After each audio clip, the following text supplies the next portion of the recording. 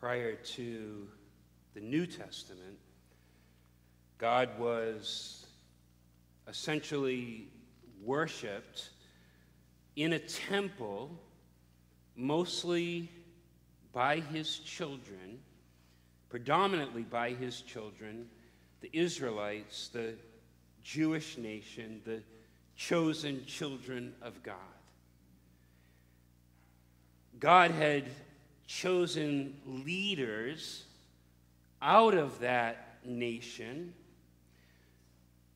And we read about those leaders all throughout the Old Testament and the calling upon their lives was to reveal to the Jewish nation, centered mainly in Jerusalem, that sin separates us from God. And that one day God would send a rescuer, a savior, into the world through their lineage, through the Jewish lineage. And this Savior would come not only to rescue them, these Jewish men and women, from their sins, but Gentiles as well. That's good news. Some 2,000 years ago, God's Word, Scripture, God's truth tells us that Jesus Christ, God's very Son, was born as a baby in Bethlehem, and he lived in that vicinity, the Jerusalem vicinity, and this Jesus, this Messiah, represented, he embodied the very characteristics and the very nature of God the Father. Because he was God. Jesus also kept God's law perfectly so that he could then become an unflawed sacrifice on the cross, paying in full as our substitute the payment that was due for our sin. God's word also tells us that after Jesus died, he was buried. And he was buried in a grave because you see, the payment for sin is death. But Jesus, this Son of God, overpowered not just sin, but death as well. And so God the Father raised him from the grave, and Jesus, the Son of God, now sits at the Father's right hand, waiting to receive anyone who would put their faith in him for the forgiveness of sin. Essentially, that's the gospel message that has its roots in the Old Testament. This book of Acts, as you know, is written by Dr. Luke, who also wrote the Gospel of Luke. And Acts, this letter that we have been studying, essentially gives us a glimpse into how the church was born and how it started there in the vicinity of Jerusalem, the hub of the Jewish culture. But the question that must be answered is this How would this gospel message about Jesus ever move beyond the walls of Jerusalem? How would this gospel message ever move out beyond this predominantly Jewish nation and out into the rest of the world that was now primarily made up of Gentiles.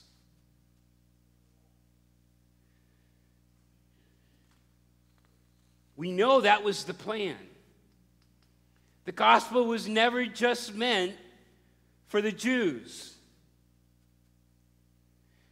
Before Jesus ascended back to heaven, he said to his disciples, He said, Go and make disciples of all nations. And then, right here at the beginning of our letter in Acts, again, Jesus says to the apostles, You will receive power when the Holy Spirit has come upon you, and you will be my witnesses in Jerusalem, right where they're at, and then in Judea, and then in Samaria, and to the ends of the world. But the question remains how will this good news, how will this gospel ever move beyond the confines of basically a Jewish Jerusalem?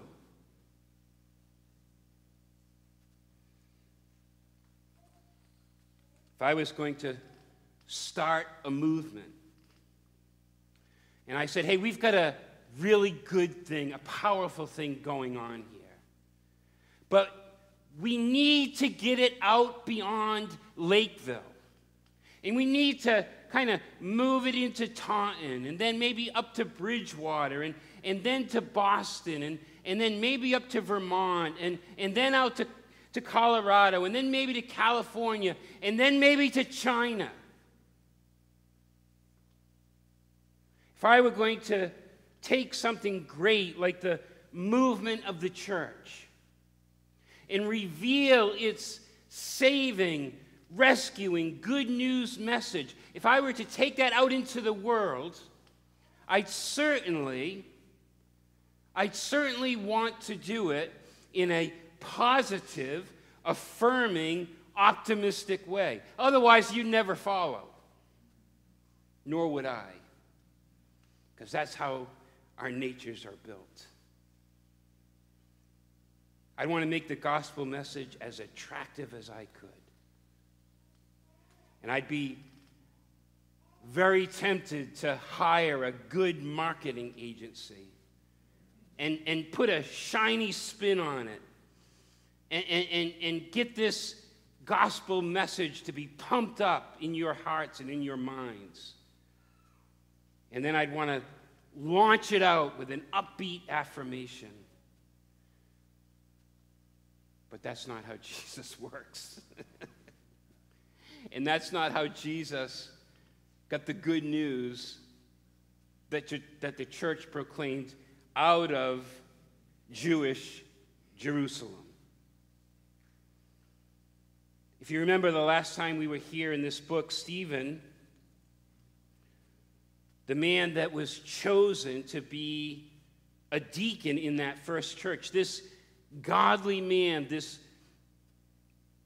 true leader, this authentic follower of Jesus. We, we read about him in, in, in chapter 7. He, you'll remember, he gives this moving sermon to those Jewish leaders in that Jewish Jerusalem about their heritage and, and how it how at just the right time, you know, God was going to send them a Messiah, a rescuer. And this Savior would come to, to rescue them, to save them out of their imprisoned lives.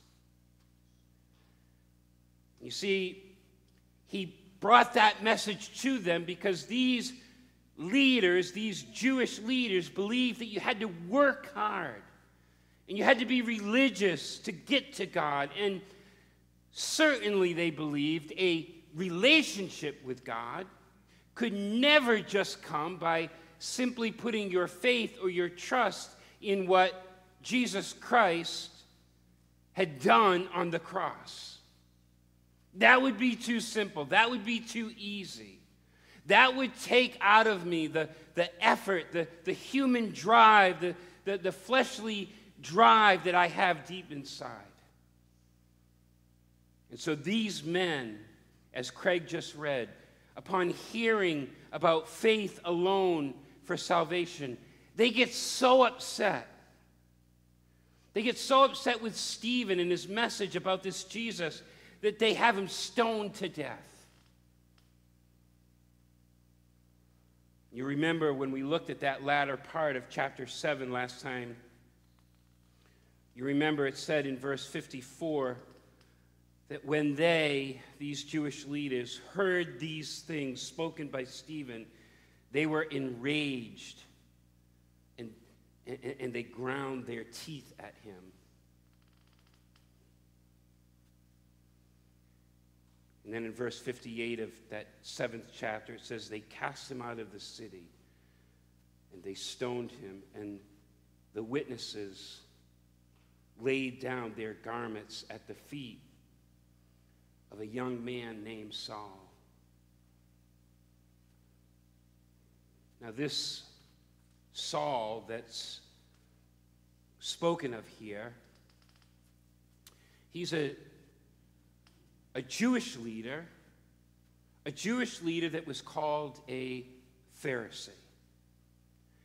And essentially, the Pharisees believed that you should not only uh, follow the ways of Scripture that has been breathed out by God Himself, but that you should also follow after the traditions and the customs that were religious in nature, but not necessarily from God Himself. So, over the years and the years and the years of, you know, this Jewish culture, traditions rose up.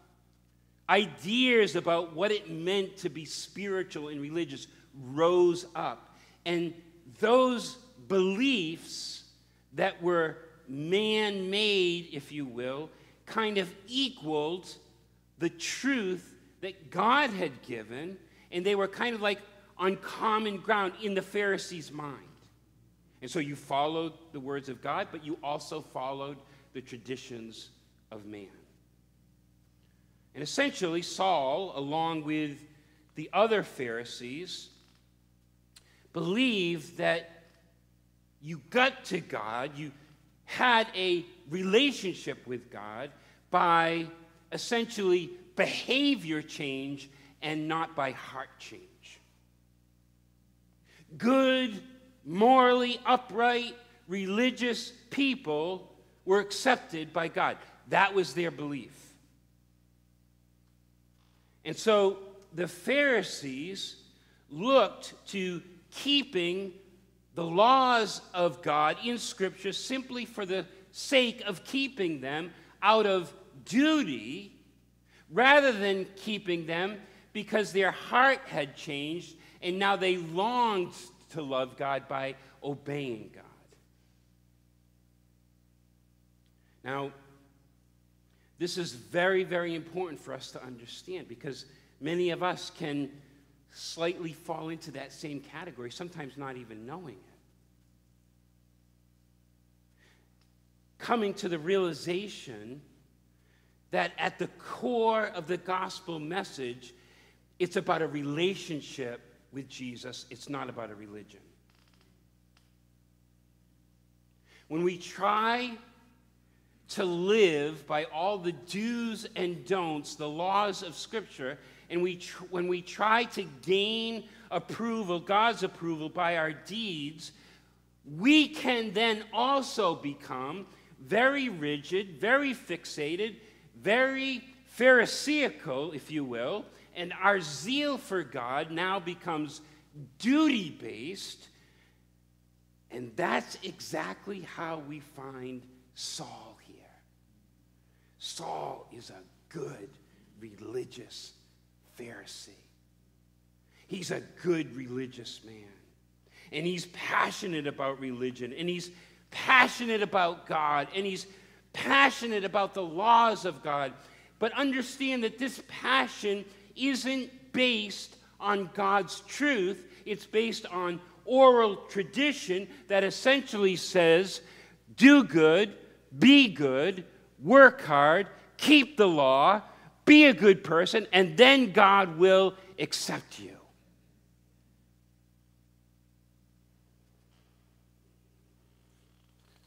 If you look at verse 1 of chapter 8, it says that Saul, in his religious fervor, approved of Stephen's execution. But then notice what it says. And there arose on that day a great persecution against the church in Jerusalem, against the followers of Jesus now in Jerusalem. And they, meaning this newly formed church, were all scattered throughout the regions of Judea and Samaria, except for the apostles. And devout men buried Stephen and made great lamentation over him. But Saul, this religious man, this Pharisee was ravaging the church and entering house after house. He dragged off men and women and committed them to prison. And so there's a, a handful of things that we want to notice here about Saul's religious, religious passion. First, here's the first principle saying, I love all of God, but not loving all of His word is an impossibility. Did you hear that? Saying that I love all of God, but not loving all of His Word is an impossibility. In other words, a true love of God will always lead me to a true love of all of God's Word. And I think this is what we see missing here initially with Saul. Saul loves God, he loves His laws but his passion and his acceptance uh, by God has outrun his knowledge and his understanding of God, which comes through God's word to us.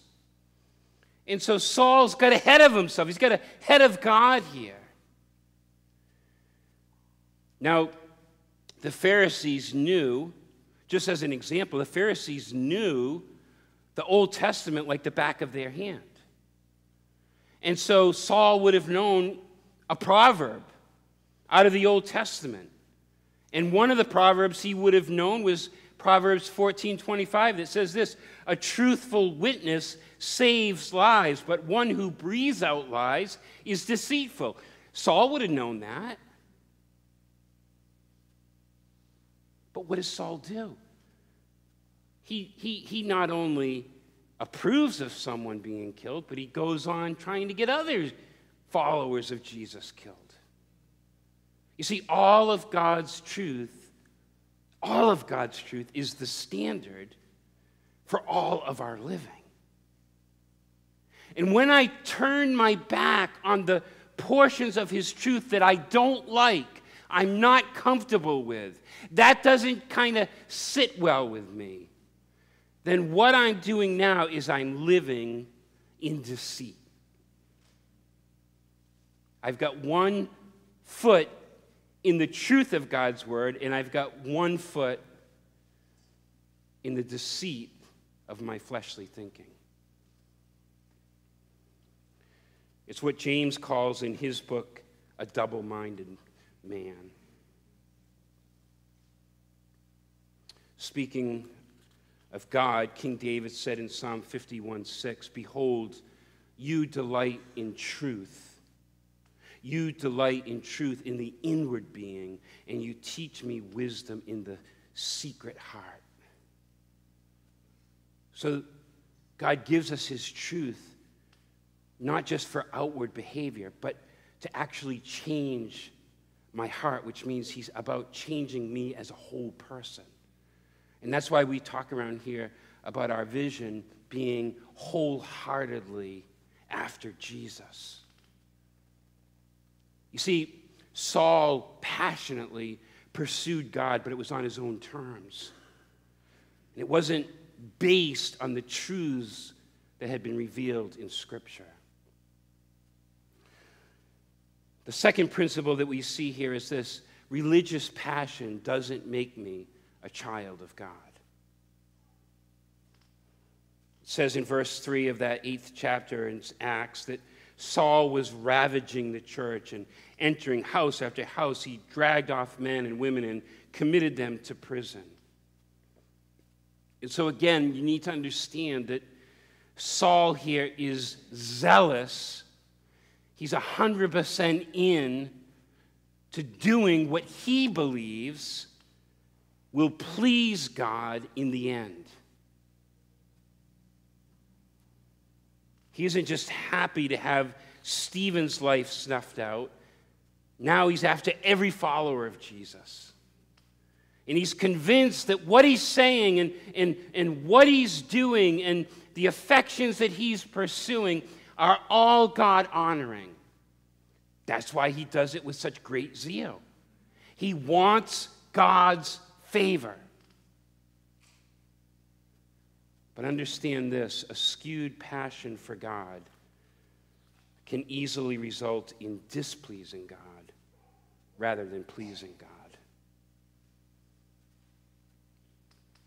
You see, Saul has no doubt just heard the message that Stephen has given about how God has chosen us to be his children. And he's no doubt heard how, in that message by Stephen, how God has led the Jews over and over to experience God's love, his, uh, his unconditional love, and how that love will one day be personified in Jesus. He, he, he's no doubt just heard this very powerful message from Stephen's own lips that God's Spirit longs to draw us to Jesus Christ, who's done for us what we can't do for ourselves. And how at the cross, Jesus secured forgiveness, and how being good is never good enough. Like that's ringing in Saul's ears. Saul knows the message, but he's missed the real messenger and that being God Himself. So he keeps trying, he keeps working, he keeps going after getting God's attention by being religiously upright, religiously good. But you see, as you and I know, that was never why the law of God was given so that we could work at trying to achieve it, so that we could work our way into getting right with God. The law of God, all the do's, all the don'ts that we see over and over in Scripture are simply meant to drive us to Jesus and to His grace. In fact, it says in Galatians chapter 2, we know we know that a person is not justified, is not made right by works of the law. But how? Through faith in Jesus Christ, because by works of the law, no one will ever be justified. So, again, sometimes you can be very in love with God, but not necessarily in love with all of His truth. And you can be religiously passionate, but not really following the God of the Bible. Because God doesn't accept us because of what we do, He accepts us because of what Jesus has done. when we put our trust and our faith in that reality, our hearts, our spiritual hearts are changed. They're transformed, and now the Holy Spirit takes up residence in us. And that's how we become the church. The church isn't a building. You are the church if Christ resides in you. These are just four walls. And that's why people all over this world this morning are worshiping in all kinds of different spaces and places and buildings, not because the Spirit resides in that building, but rather because they, the Spirit resides in them and they've come together to be the church. And so, obedience to all of the truth that God puts before us, it's never achieved perfectly. But it's something that our hearts strive after because we're in love with Jesus for what Jesus has done for us. It's very, very important to understand this. And as I was studying this week, Matthew 7, verse 22 and following kept coming back to my mind where Jesus says, On that day, many will say to me, Lord, Lord. In other words, Master, Master, did we not prophesy in your name and cast out demons in your name and do many mighty works in your name?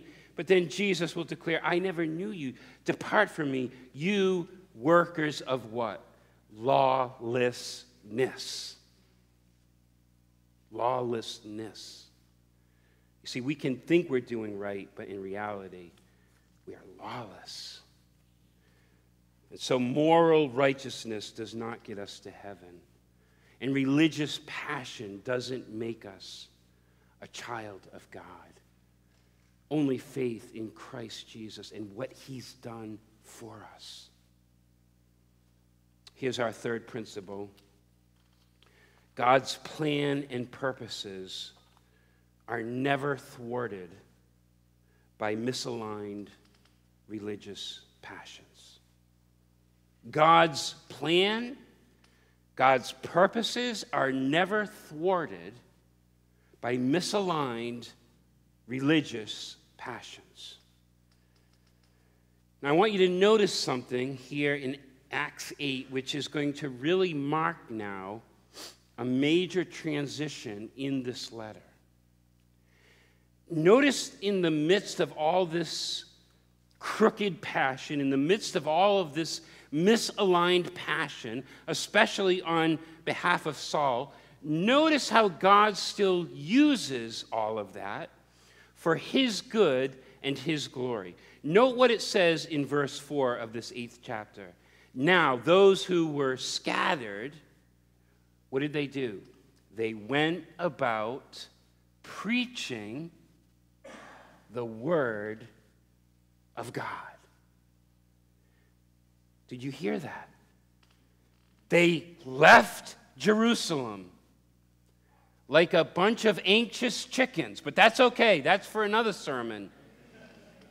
They left not with the Pharisaical kind of teaching that Saul brought in, now they're going out with the truth of God's word because it says they're now going out preaching the word. You see, in chapter 1, uh, excuse me, verse 1 of this chapter, we're told that the followers of Jesus were, were scattered because of the persecution of the church. And now, verse 4 tells us that these followers of Jesus are scattered, and they're not just running away in fear, but they are running away from Jerusalem with the truth of the gospel. And it's this running away that takes the good news about Jesus not only, uh, I think it's north to, to Judea, and not only there on to Samaria, and not only then on to the Roman world, but also this running away, hear me, with God's truth has actually moved beyond the confines of the, uh, uh, of the walls of Jerusalem, And it's moved beyond the walls of that continent to even be here with us this morning. Because what you have in your hands is the truth of God's word that at one day was predominantly right there in Jerusalem, mainly for the Jewish people. But it's come to us who are Gentiles. And that's why we're here this morning. You see, God's word is living, it doesn't stop at one point, it keeps moving out. It's got this ripple effect. And as we give our lives to the truth, as we give our lives over to Jesus, as we love Jesus for who Jesus is and what Jesus alone has done for us, our lives are transformed, and those in our midst, their lives can be transformed because they see something different about us.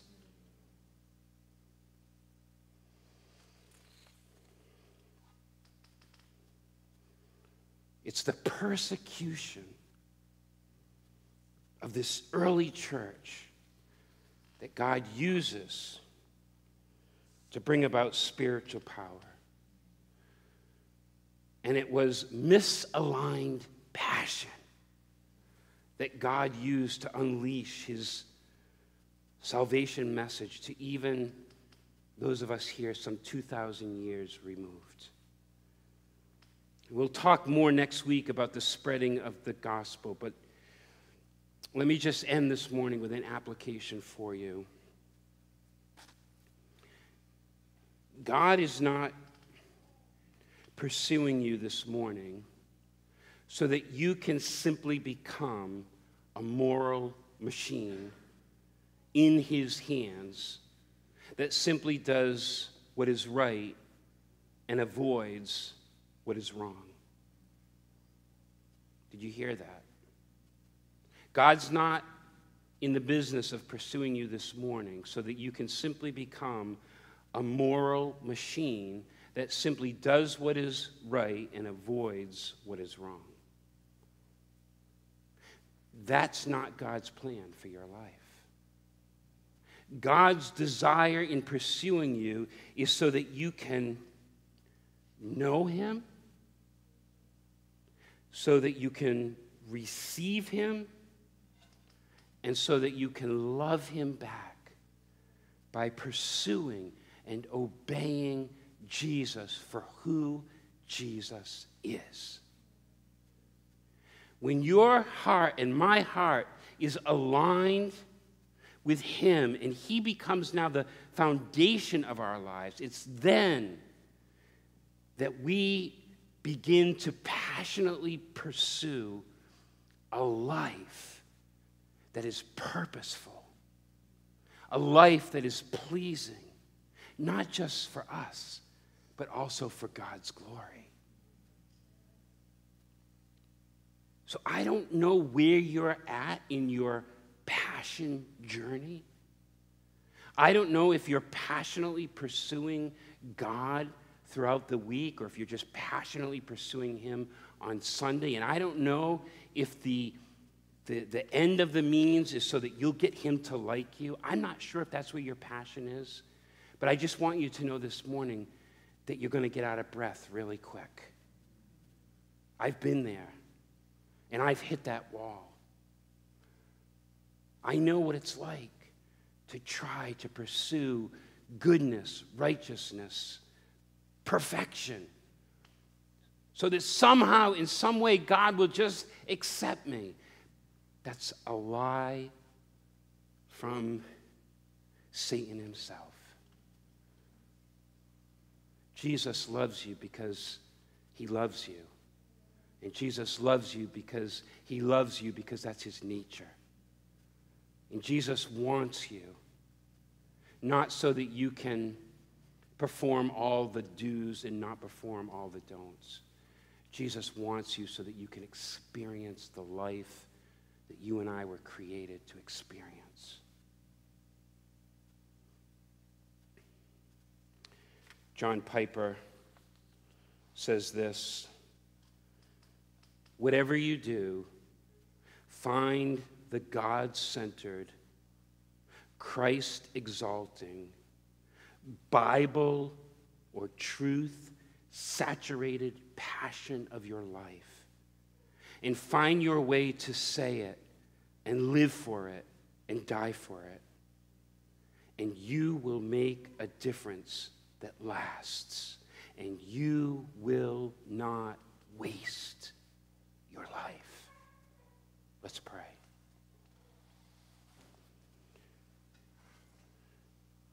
God, help us to learn from the life of Saul that it's not about being morally upright, but rather it's all about being wholeheartedly surrendered to you, Lord Jesus. Because there at the foot of the cross, we find unconditional love, forgiveness for all our sin, and purpose for life. Change us through the truth of your word by the power of your spirit. And this we pray in Jesus' name.